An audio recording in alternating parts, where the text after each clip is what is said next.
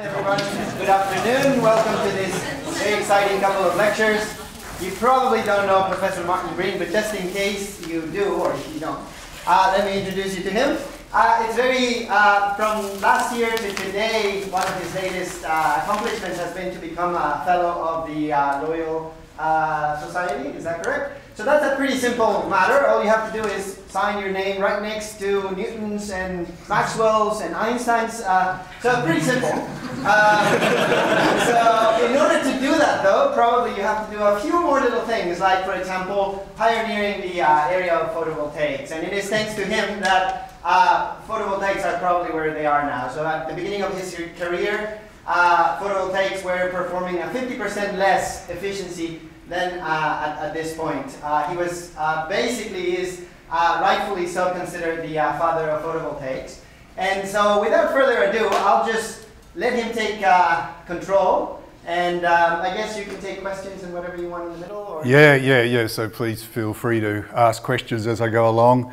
Um, but I will allow a period at the end as well. So make sure you have a couple of questions to ask me at the end, otherwise it's a bit awkward for everyone. So make sure, think about a couple of questions while I'm going through, but you're welcome to interrupt me. If, if I'm going to cover it later on, I'll just sort of let you know and we might just move on quickly. But if it's something that I think it's important to address, then we'll make sure we cover it well. Do you want to have an intermediate or? Uh... Yeah, we, will um, I've got it organised. We'll go for about 40 minutes and then take about 10 minutes break if all goes to plan, and then um, get into the second half. The, the, yeah, okay. Okay, well, thank you very much. Can you get me uh, kick started here, Ivan? Thank you, Ivan. If you need. Uh... Oh, thank you. So uh, two lectures will be on the evolution of high efficiency silicon solar cell designs and I'm fortunate enough to have been in, involved in one way or another with a lot of that evolution.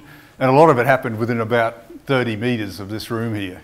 So just uh, down the corridor here in the LEC Engineering Building was a lot of where the uh, cell development I'll be talking about actually occurred. Um, I'm director of this um, newly established, it's about a year old, Australian Centre for Advanced Photovoltaics, which is based here at UNSW but involves other universities around Australia. that are interested in PV research, such as ANU and Melbourne, Monash, a few others like that. Um, so let's get on with it. So this is the outline of the lecture. This is the first one. So I'm just going to give a little bit of an overview of things that have happened since I gave the lecture last year. Not that any of you are probably here, although I noticed Chi Mun is back. um, so you'll hear some fresh stuff, Chi Mun. Um, and then a little bit of the early history, talk a little bit about p-n junction, space cells, give a couple of um, what I think are the key issues with p-n junctions, and then um, just given a, a, a, the early parts of the modern era, how we got into that one there, and then we'll take a break and uh, with time for questions before then. So um, recent developments. This is just a chart I've been preparing for many years now, but each year I just update the amount of new capacity that's been added from various sources. So I started in about 2005, I think, when PV as the yellow one was way down here. Um, but it, PV has sort of surged from nowhere over the last decade or so. Uh, wind for long was the largest source of new electricity generation, um, renewable at least, that was installed worldwide. But last year was a historic year in that P, there's more PV capacity installed worldwide than wind for the first time. And I think that'll be the situation from now on well into the future. So um, historically, um, you know, there's been a turning point. There was another turning point I got very excited back in 2006 when photovoltaics overtook nuclear for the first time. But as you can see, there's a lot more photovoltaics going in than nuclear, despite the much bigger press nuclear seems to get. Uh, in fact, last year, photovoltaics was the second biggest source of new electricity generation capacity. Only coal was bigger. So another, another sort of historic moment. Um, some of us involved in photovoltaics, as long as I have, um, you know, I've always knew it was going to be big, but that um, perception is now becoming more per pervasive. And uh, Bloomberg uh, last year published this chart here, just carrying on my chart into the future, looking at gigawatts of new capacity installed over the coming decade or two. And photovoltaics of different types are the two yellow bits there. So, um, you know, and this is uh, coal here. So, you know, last year coal was still well ahead of photovoltaics, but over the next 10 or 20 years, um, market uh, observers like Bloomberg are expecting that photovoltaics will overtake the fossil fuels as the major source of new electricity generation. So studying photovoltaics mightn't be too bad an idea. It's going to be a big industry in the future. So already it's um, done a lot better relative to wind than was projected just a year ago.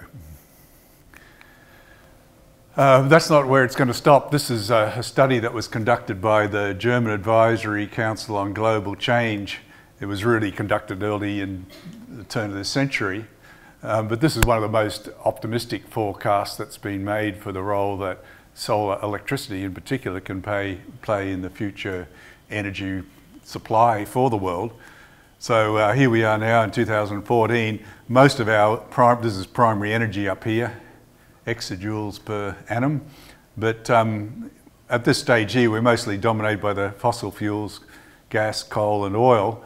But um, this group was charged with finding a transition scenario that would take us from that dependence to something more sustainable. And this is what they came up with, sort of increasing uh, reliance on the renewables, biomass, wind and solar to take up the solar electricity, to take up the increasing demand, and finally driving down the dependence upon fossil fuels. So by the end of the century, we were mainly dependent upon solar energy, 64% of our primary energy, not just electricity from solar, 25% by mid-century.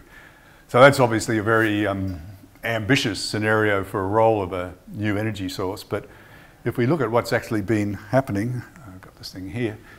This is um, same type of information plotted on a logarithmic plot. So this is installed, new installed capacity, gigawatts, logarithmic, uh, on a logarithmic scale. Um, and the red lines show the figures that were used in that study. So they had, um, you know, to get to this 25% of um, photovoltaics in, pri in primary energy supply, not just electricity, by 2050, this is the trajectory that they assumed in that study. And for wind, a similar type of trajectory, uh, peaking over because of the lower fundamental abundance of wind compared to solar. And nuclear, this being a German study, they weren't particularly ambitious about the role, optimistic about the role nuclear play, but they saw it peaking sometime around 2030, then slowly declining. Um, and the green things show what's actually been happening. Again, this is a chart I've been filling in every year. It's been interesting to watch the dots grow, but um, wind sticking pretty much to plot, so it's growing at pretty much the rate that was projected in that study. So growing 10 times over a decade was the rate that was projected there as being a constraint on what could be sustained over long periods. Uh, nuclear has not fared as well for various reasons that you're probably aware of. Um, so it's actually been, there was less energy generated from nuclear last year than at the turn of the century. Um, but PV has been the one that's uh, outstripped even this very ambitious scenario. So the last um, decade in particular just streaked ahead of the field and um, now getting to the stage where it's reach, about to reach its first milestone, which is supplying 1% of the world's electricity. But if it can keep to the left of this line here, it, um, it may be able to supply 20% of 25% of the world's primary energy by this timescale. So already at the um, end of last year, 2013, we'd already reached the levels in this study that pro were projected for 2020. So we're sort of a seven years ahead of that quite ambitious German scenario. So who knows, we may actually get to the 25% of primary energy before then. Things can happen quickly once everyone agrees that that's the way to go. Okay, well that's a little bit of background. Uh, now I'd like to talk a little bit about the early PV history, and this is going right back to the very early days. So this is the first device that's uh, regarded, I guess, a photoelectric generator, you might call it. But this is Edmond Becquerel, um, looks quite a stately gentleman there, but he was only 19 when he actually did this experiment, so quite a youngster. Um, but he, he was fiddling around with this type of configuration here with metal electrodes in liquid solutions, and he noticed that when he shone light on it, he could get electricity from it. So this is regarded as the first sort of photovoltaic demonstration, you know, electricity from, from light. He actually used that in a lot of his subsequent experiments, so he found a, a use for it uh, even though obviously not very practical. The next big step forward was going from something liquid to something solid state. And um, this is William Adams, who, um, uh, together with one of his students, uh, Richard Day, um, they were investigating the properties of selenium. It, it was uh, been identified a few years before that when you shone light on selenium, its resistance changed, which was an interesting effect, which um, you know has been subsequently used in a lot of applications. But um, they got interested in, in seeing whether by shining light on the material, they could actually make electricity flow.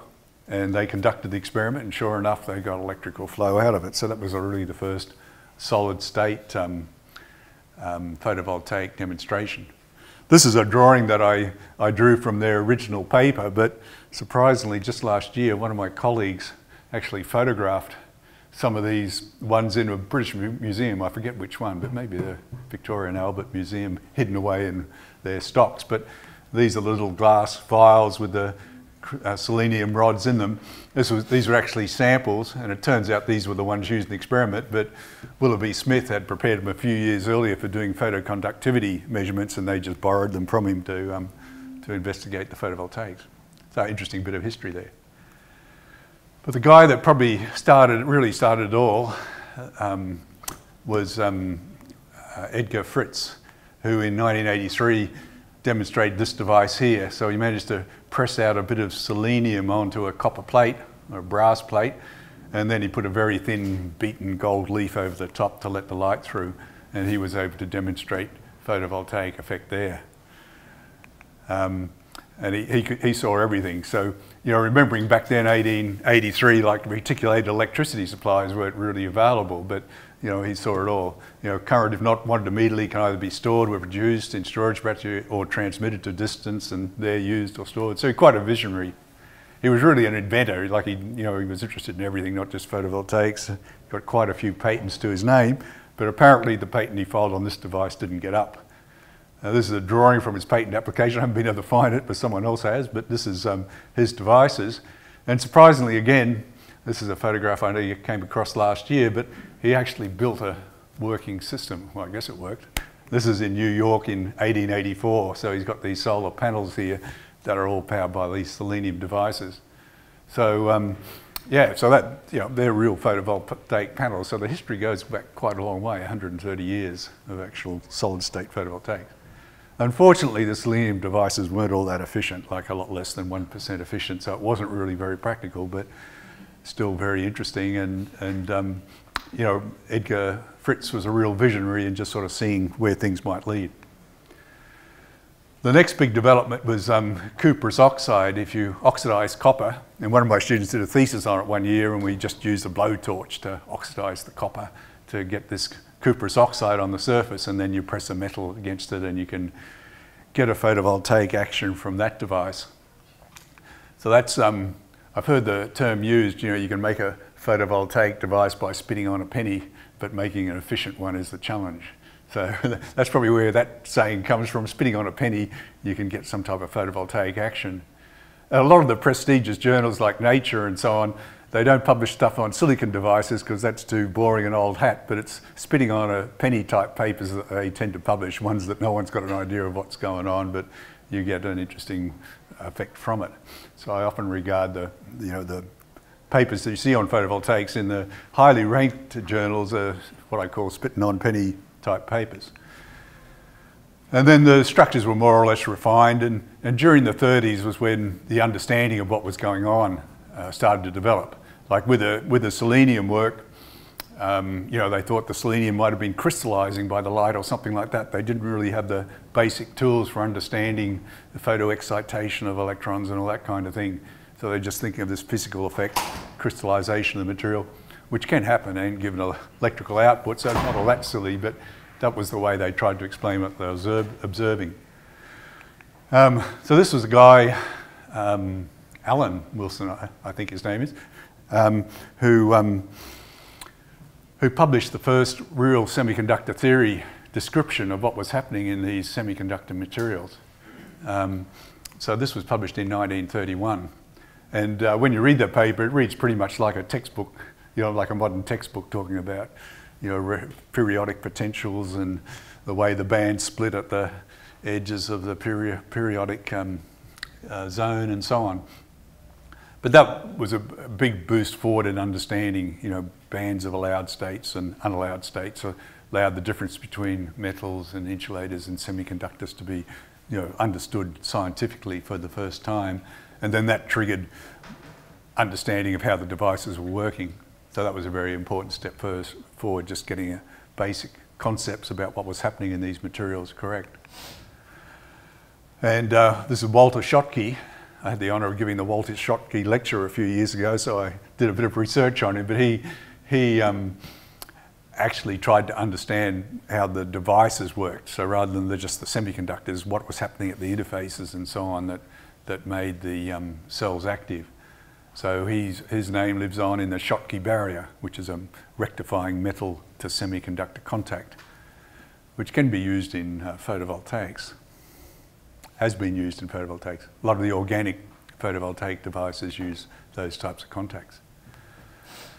So um, yeah, Schottky's work was quite important in that he got he, he propagated this idea of the interface between different materials having barriers at them and things like that and that sort of um, made everyone's mind receptive to interpreting the, the next big thing that happened, which was the discovery of the p-n junction. And uh, this happened ser serendipitously. This is uh, Russell Ohl. And in 1941, he was working with a process that's widely used in photovoltaics today, but just directionally solidifying silicon in a, in a crucible like this. So you, you put solid silicon in there, then you melt it, then you slowly cool generally from the bottom, and the molten silicon just solidifies from the bottom up. And um, he was working with very pure silicon because he, he, he, was interested in, they used to put little pointy bits of metal onto the surface of silicon to make high frequency diodes. So a very important part of radar during the, the war years, during the Second World War. Um, so, you know, he was really interested in that. But but when he um, was investigating this material, he, he noticed that there were two different types of silicon that he produced. And if he shone a light on the material, one bit would become positive and the other bit would become negative potential. So um, he called one region the P region, positive region. Guess what? That was the region that became positive. That was the P-type region, and then negative was the N-type region. So you shouldn't have any trouble figuring out what polarity, what part of a p-n junction becomes when you shine light on it. it was, was named after that effect. So really photovoltaics was, um, you know, underpinned the discovery of the p-n junction. But what was happening was that as this silicon was solidifying, boron and phosphorus were atoms were getting incorporated into the um, into the solidifying silicon, but um, the, the phosphorus sort of less less able to be incorporated. So it, uh, it gets, oh, sorry, I got the other way wrong, around. Um, yeah, or, or maybe, um, no, no, that's right, yeah. So as, as you, um, as you uh, solidify the material, the phosphorus gets incorporated in the material and becomes weaker in the regions that solidify last, but the effect with boron is less pronounced. So it's more uniformly distributed through the material.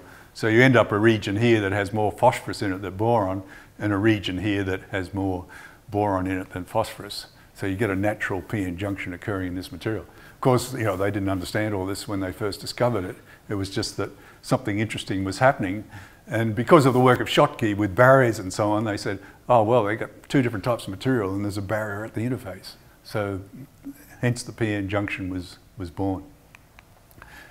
So, um, you know, if, you, if you've got a block like this with a natural p-n junction in it, you can cut it to, um, you know, make a, make a device with the p-n junction incorporated in it rather than using the whole block.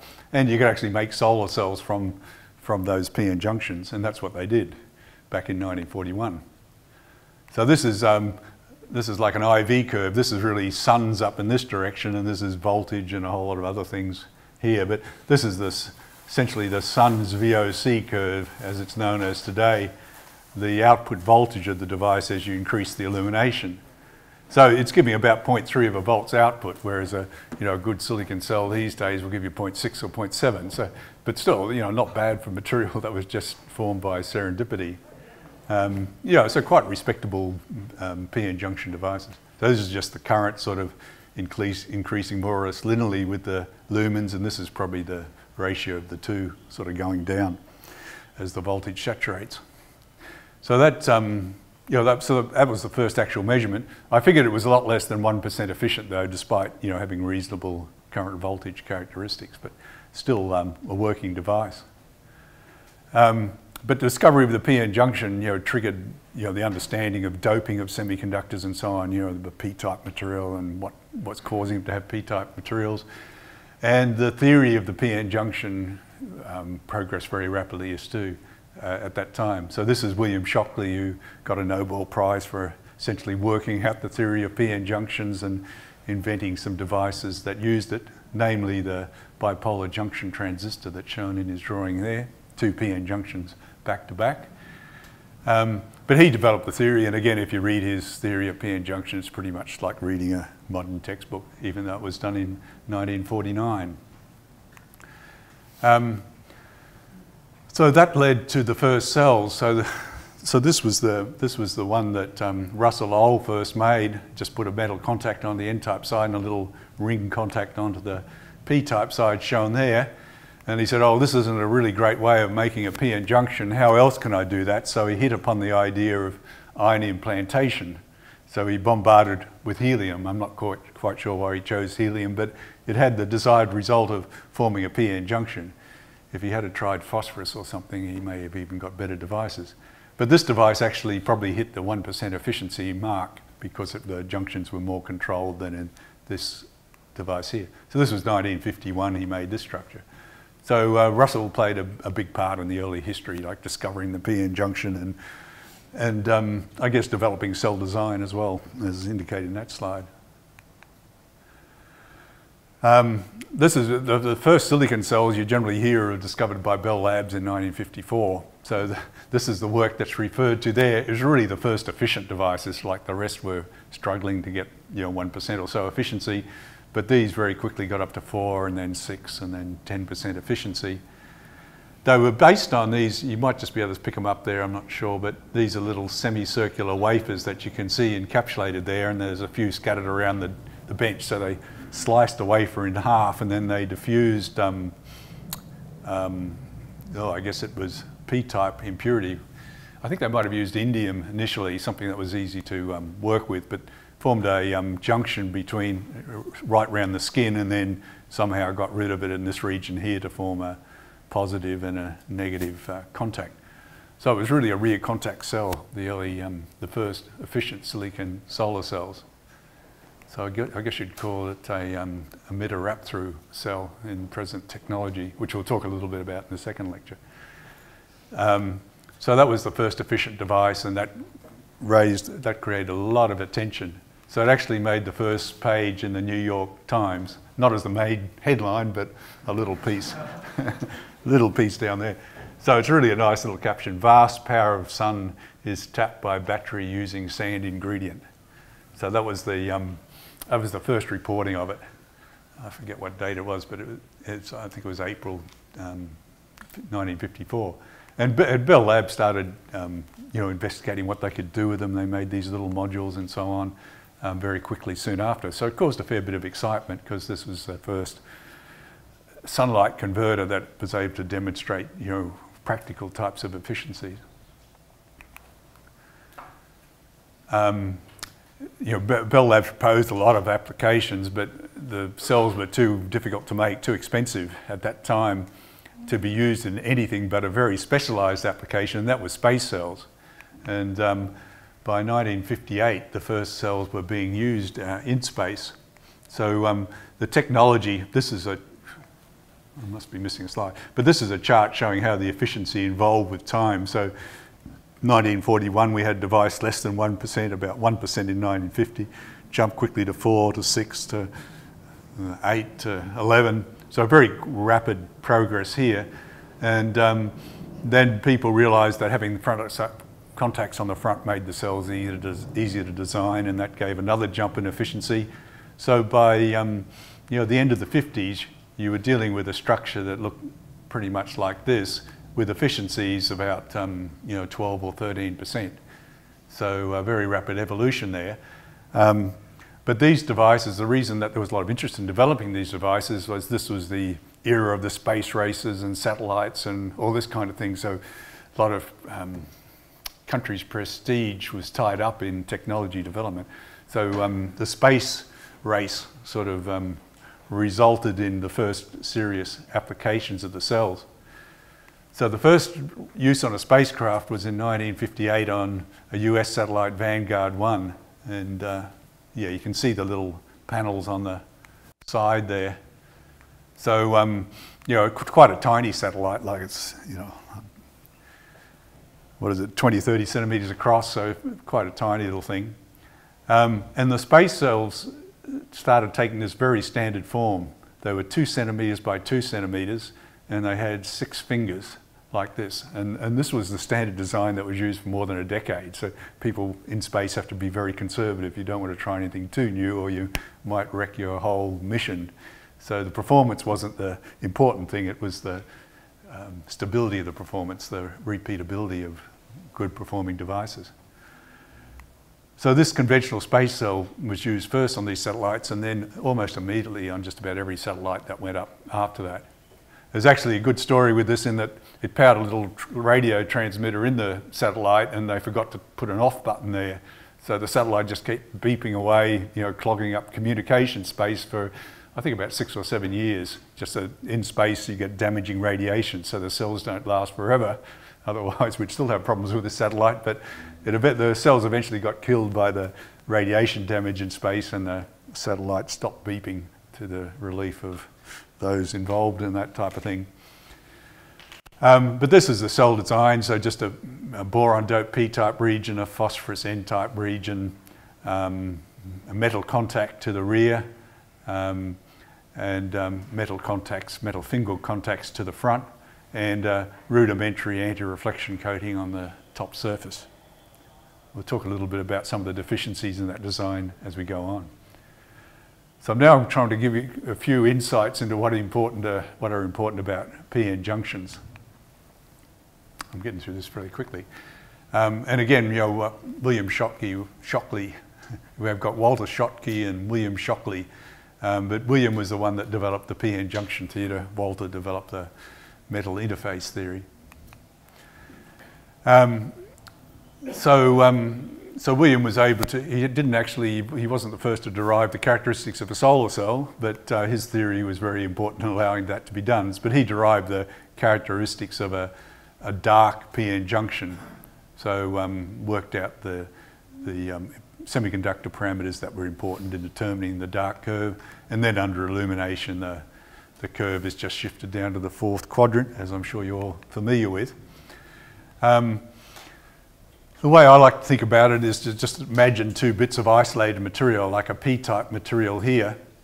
You um, manipulate the concentration of positive carriers, and it turns out if you um, have got the device in equilibrium, that means a device sitting in a room like this, in the dark though, um, no electrical excitation or anything, it turns out that the NP product has to have a constant value equal to, called the intrinsic carrier concentration squared. It's, one of, it's a mass action law that applies to the um, semiconductor material.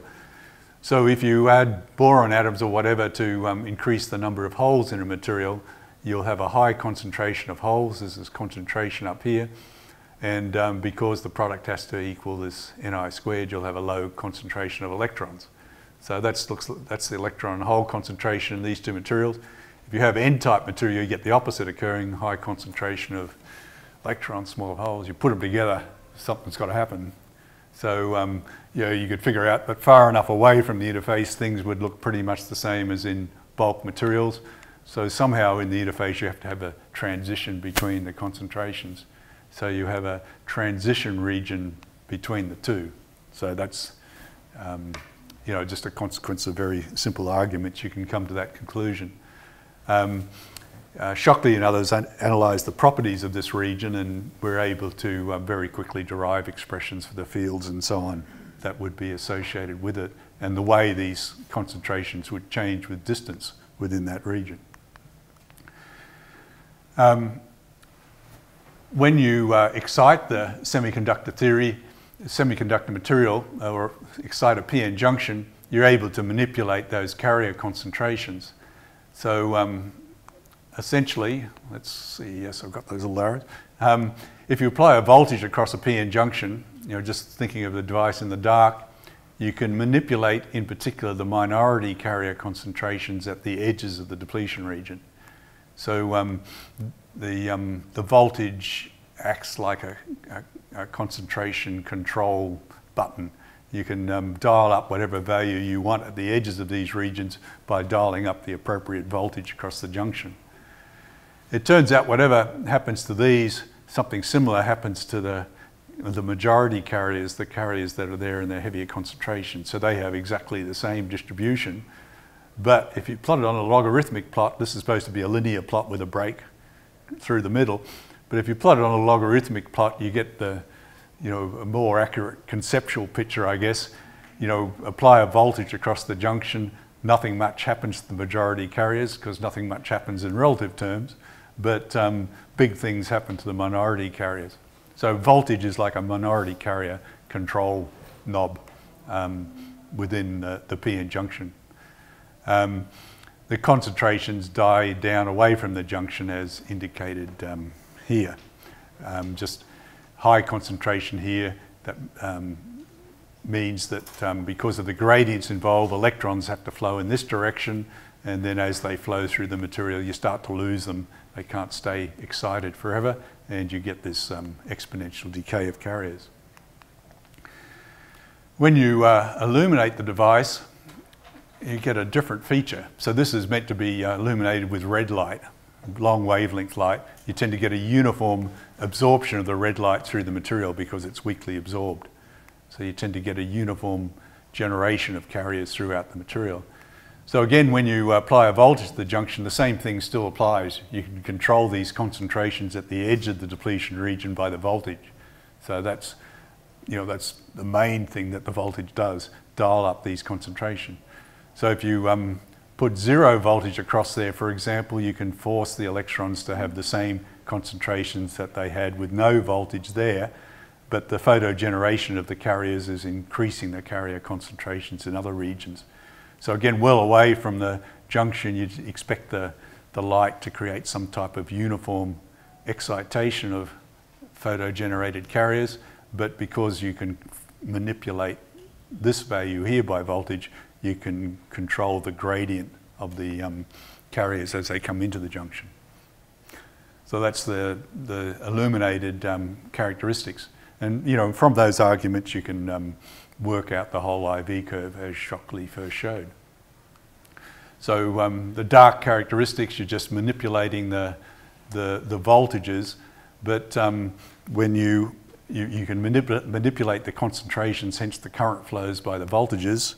So um, going, in, going in the forward direction, the forward voltage, you can get these concentrations up to quite high values going in the reverse direction, you know, you've got uh, a value between zero and this value, so you haven't got as much scope for manipulating the concentrations in the reverse direction. So that reflects itself in the IV curve. In this direction, you can keep increasing the concentrations at the edge, so you get this exponential increase. In the reverse direction, you, you run out of scope. You can't reduce the concentrations below zero. So you um, run into a saturation of um, the flow in that direction. And then when you um, shine the light on the device, you just get the additional excitation superimposed upon that, and the whole curve just physically moves down as indicated here. Um, so that's one of the key features of analysing photovoltaic devices. Particularly in the next lecture, I'm going to give a couple of features that are sort of second order features that not everyone in photovoltaics is aware of that allow you to um, understand what's happening in the devices a little bit more easily than trying to analyze the fundamental equations or whatever. But superposition is one idea. The, the light and the dark characteristics can be superimposed to work out what's happening in an illuminated device. So voltage is sort of a dark type of parameter you apply to the device, figure out what's happening in the dark with the voltage, figure out what's happening in the light with one particular voltage, whatever's the easiest to work with, and then superimpose the two to find the final device characteristics. Okay, so I'll finish up this first phase and then we'll take a 10 minute break and uh, remember you have to have a couple of questions when I finish. Um, we enter the modern era. So this is the, um, you know, we, in the storyline, whoops, we'd got to the stage where um, this type of cell design had been developed, and this is just an array, you know, using those cells. So, you know, for a decade or more, the, the same type of technology was used in all spacecraft. So this is um, Skylab that went up in the early 70s, and there was a big program to standardize on the cell design for that spacecraft. So that really solidified the design of the space cell. A lot of testing done for the cells for that, um, that spacecraft, which is in the Aero Space Museum in Washington. Uh, quite an interesting exhibit there. Um, but uh, technically, um, the dev devices had a problem in that in order to keep the series resistance of the devices low, they used, to, and to make it easy to make contact to this um, N-type region, they didn't want it too thin. They wanted something substantial to actually be able to physically contact. So they used to pump a lot of phosphorus into the surface. So um, this shows the phosphorus concentration as a function of position within the material, so very high at the surface, generally introduced by thermally diffusing it in. So you have a, a gradient of phosphorus in the material, high at the surface, then low. Um, silicon only can only accept a certain amount of phosphorus in a substitutional position. So the phosphorus actually replaces the silicon at the atom sites, but you can only do that for a certain amount of phosphorus without, um, without um, getting so much strain that it no longer can occur. So you get a saturation in the electrically active, the useful phosphorus, as indicated here, if you try and pump too much in, as they were doing in these devices. So you had a region in the surface where the phosphorus was not substitutional, but had managed to get incorporated the silicon in some other way. Um, you know, silicon phosphide precipitates, things like this, but other than the ways you wanted. So you had this uh, dead zone at the surface that corresponded to that flat region that is shown there, where the, there was more phosphorus in the surface than could be usefully used. So, um, you know, after a decade of sticking with this structure, you know, meanwhile, over this period, there have been fantastic steps forwards in microelectronics. So the 50s saw the development of bipolar transistors and so on, uh, but the 60s saw the, the, the, first interest in integrated circuits and so on. So that um, uh, the 60s was really a rapid stage of development of the technology to make integrated circuits and the photographic techniques to get very fine features and so on. So in the, in the 70s, um, a group at uh, one of the space cell labs had a look at um, how they could refine the cell design based on, um, on the developments that occurred over the last decade. And uh, they came up with a cell that's known as the violet cell, and it was first reported in 1972. So they, they realized what was going on with this heavy diffusion, not a real good idea. So they, they made much lighter diffusions to, um, to reduce the, the, um, the damage done by the excess phosphorus essentially. They, uh, instead of sticking with the six fingers per two centimetres, they, they decided, well, we've got all these photographic techniques from microelectronics, we'll define the fingers using photographic techniques, and they went from six to 12 or even 18. So um, big step forward there. Um, and then um, because, the, um, because the cells with the improved uh, diffusions here could respond better to blue light, they redesigned the anti-reflection coating so, they, so that the reflection was better for the blue lights. The blue light, so they made the anti-reflection coatings designed for shorter wavelengths because the cell was more responsive there. So that gave the cells the, the violet colour that, and uh, hence their name. So um, light phosphorus diffusion, photolistically defined top contact, so much finger, finer fingers. Um, the other thing they did, they, they realised that this rear metal interface wasn't a really good idea. So the, the interface between a metal and a semiconductor is generally a, a region of very high recombination. So you have to protect the uh, minority carriers from that region. So they realized if they made that region a heavily doped p-type, like just remembering to what I said before, push the whole concentration up, it pushes the concentration of electrons down. So it's like, um, you know, I used to give a um, analogy between uh, a plumbing analogy like pipe diameter.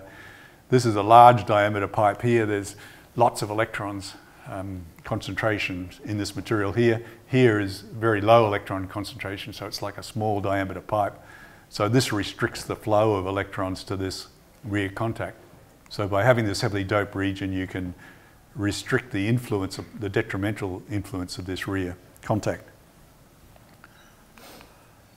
Um, yeah, a higher index, uh, less absorbing anti-reflection coating, and um, be, because in, in, these space cells a, a, fairly lightly doped substrate was used, like um, the the damage that you get from radiation in space, it's a little bit like um, uh, something that occurs in terrestrial cells that I might talk about later, but um, it depends upon the number of boron atoms that you have in the in the base, the amount of damage you get. The fewer borons, the less damage you get in, in the space environment, the less defects that are created in the, in the silicon because the defects are boron impurity related. So um, because these devices were responding more to the blue wavelengths, it didn't matter so much that uh, you had to protect this, um, you had to uh, prevent the, the damage in the, in the base region. You could tolerate more damage in the base region without with the same type of cell overall degradation because the blue was quite resistant to the space radiation damage. So you could go to a higher doped substrate. So it went from 10 ohm centimetre to 2 ohm centimetre. And all those things gave a massive jump in improvement. Whoops. Well, they gave a slight, a slight improvement as shown here. They took the, the, the well, the best space cells were about 13% efficient. This other result here is is an N-type wafer, which differed from the, the P-type wafers at the time. So you got a, you know, a reasonable jump from this point here to this point by all those refinements. And just a couple of years later came the black cell. And um, again, it was another technique that was borrowed from microelectronics, but people had become interested in selective etches. So there was a number of microelectronic devices that relied on angling the silicon geometry by attacking the crystal planes in the silicon at different rates. And um, uh, the same group that developed the violet cell a couple of years later came up the black cell and it, it introduced the pyramidal texturing that all monocrystalline commercial cells use today. Um, and uh, so that was the black cell. So this is a quite an interesting graph. It shows the current versus voltage curves for the conventional cells. So this, these, this is under space radiation, so the efficiencies are not quite the same as are shown here. But um, this is a conventional cell, low current output due to the, due to the um, poor emitter region due to the heavy um, doping with phosphorus, and a low voltage output due to the, the low resistivity of the substrate and the lack of a back surface field or anything to protect you from this rear metal contact. So, um, you know, and that's the type of technology that have prevailed throughout most of the 60s. Then the violet cell um, bumped up the current by improving the, the top surface region, reducing the shading losses and things, and then also improved the voltage by using a higher doping in this region and protecting the device from the rear contact recombination. And then the black cell capped it all off by reducing the reflection from this top surface and giving you an extra boost in the current. This just shows the spectral response, the response to different wavelengths of light, showing the corresponding jumps. So this blue region, that corresponds to light that's absorbed close to the surface. The high energy photons get absorbed quickly, and the old space cells weren't very good at converting those. Violet cell overcome that, came that limitation and then the black cell did even better. Um, and at the long wavelengths, this back surface field region prevented recombination of photo-generated carriers in this region, increasing the spectral response there. So uh, improvement in both current and voltage, and that gave a um, big jump in the cell performance. So, and, that, and that got people interested also in, you know, just how far could you go with performance. We've got this big jump by doing these you know, this re-evaluation of cell design, you know, how far can you go in, um, in cell performance? So that was the situation in the early 70s where the group here was started. The technology had evolved to, you know, reasonably respectable efficiencies around um, 17% or 18% under current measurement conditions. But, um, uh, but there was a lot of excitement about, you know, just what were the limits on performance and how far could you go. Um, So the next lecture will start, take the story up from then, but I'd like to have a question or two if there's any out there before we take a break for about 10 minutes. Any questions? Well, I don't really have to have one, but sure there's none? Yes. Um, so one of the issues uh, is the variability in solar energy input. Um, so uh, at what point do you think, I guess, like the theoretical efficiency of solar cells, um, what point do you think they will reach? Um, and also how will that, I guess, balance the whole variability issue as well um, in terms of forecasting? Yes. Yeah, so the, you know, the, the main development up to this stage in the history of the cells was for space use. So that's an example of a different spectrum. They used a spectrum that, you know, hasn't got the absorption bands and everything you get in the terrestrial spectrum and a lot more blue. So they had different design criteria from, um, from standard cells. But, um, you know, in principle, there's no reason that you have to be more spectrally sensitive as you go to higher and higher efficiency so that I, I, think ultimately you can maintain a device, you can design a device that has similar, um, uh, that can have much higher performance than present devices but still maintain a similar tolerance of spectral variations. I'll talk a little bit about it more at the end of the second lecture, just where things might be going in that direction. But um, yeah, probably um, the, the, the, spectral changes aren't, uh, you know, aren't, aren't really an inhibiting factor in high performance design, I don't think. Okay, if there's no more questions, you're welcome to come up during the break, but um, we'll start again um, you know, just after um, one and with the second part of the lecture. Thanks for your attention.